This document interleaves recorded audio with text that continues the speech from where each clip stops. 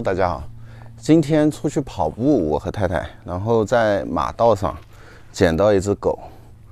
这个应该是苏格兰牧羊犬，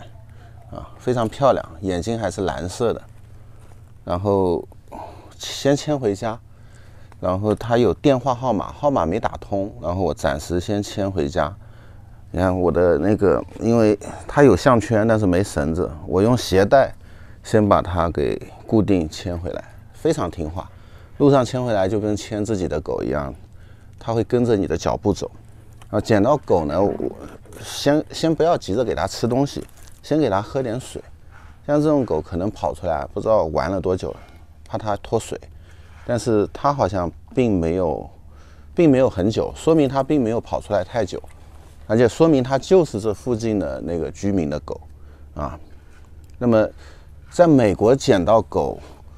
可以打那个就是那个机构的电话，但是机构一旦送进去呢，它就要全面的体检，然后打那个针啊什么的，然后主人再去领就要花钱。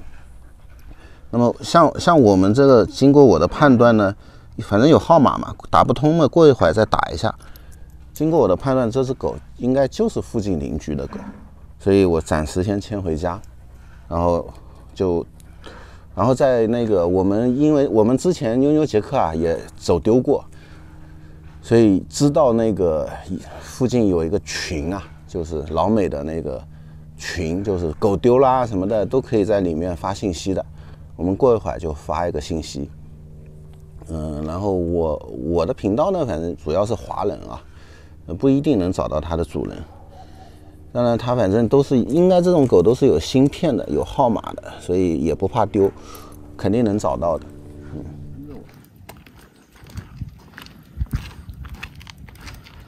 我们找到他家的地址，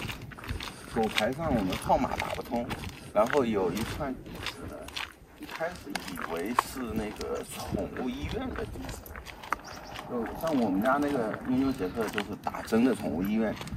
那个狗牌上是写着宠物医院的地址，不是家庭地址。然后我我说试一下，用那个地图一搜索，结果是就住在走路也就十分钟。那么我想干脆就把它带回去，把它带回他们家去。因为我们家他一在我们家，妞妞杰克可伤心了。眼泪汪汪的，以为有人来争宠。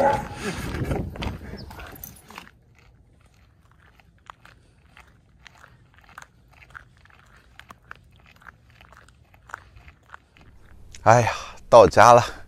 装上录音设备，说一下，就刚刚啊，我们在送还的时候，呃，遇到主人正在出去找狗，然后我们在门口啊摁门铃。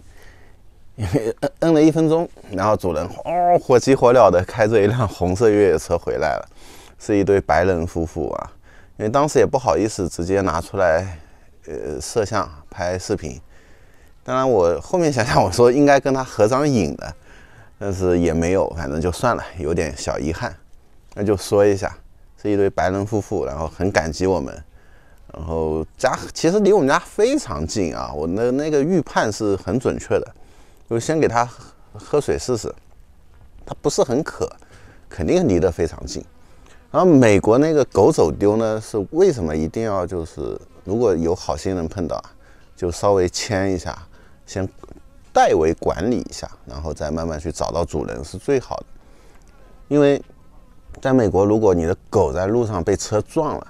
如果车出现损失，或者车里的人或者造成财产生命损失的话，那个是巨额赔偿，是狗的主人赔的啊，而不是像我们国内农村啊，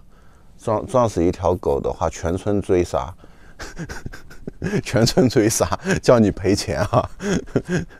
实际上理论上就是这样的，狗没管牢就是就是主人的问题，就哪怕是它是越狱逃出来的那个狗，我看了一下他们家，因为树木嘛，他们家那个围栏好像。矮了一点，然后那个缝我不知道能不能钻出来，也有点大，可能都是原因吧。但是归根结底还是主人的原因，就是大家千万要记住。然后呢，就是养这种呃，运动量非常需求非常大的狗啊，一定要小心。我是比较懒，然后我们家法斗嘛，正适合我的那个到处躺，到处坐，是吧？每天稍微活动活动就够了。然后我们锻炼，我是不带狗的，为什么？这样的天气，那妞妞杰克啊，出来跑一圈会中暑的。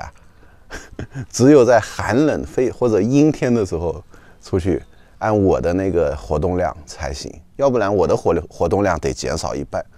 妞妞杰克就吃不消了。那他们呢是瞬间爆发力强啊，不是那种耐力。所以那个什么狗啊，就是就这种牧羊犬，德牧、苏牧，是吧？然后那个什么雪橇三傻，真的真的千万不要住住楼上的、住公寓的，千万不能养，真是虐待他们。相当于，然后哪怕是住这种大院子的，他们家院子跟我们家差不多大，我发现他那个狗还是不行的，还是要跑出来玩的。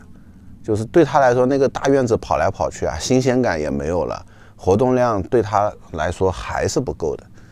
真的天性就是要追着一群羊，没有羊给他几只鸭子给他赶赶，至少啊，那牧羊犬就是就是这样的啊。今天就稍微说一下这个对我对狗的一些理解吧，毕竟自己家里两两只小法斗超级可爱，然后又今天相当于做了一个好事情啊，然后因为英文再多说也说不了，所以跟他们那个白人夫妇的沟通上，也就是感谢啊、谢谢啊这些很简单的啊。说复杂了，我说哦，我要拍个视频什么的，我说不来。我太太也有，